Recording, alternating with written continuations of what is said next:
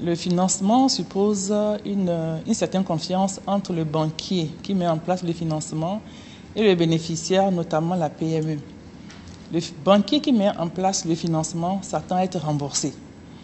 Mais lorsque, après étude du dossier, il n'est pas sûr d'être remboursé, il demande une garantie, certaine garantie aux, aux bénéficiaires, notamment la PME.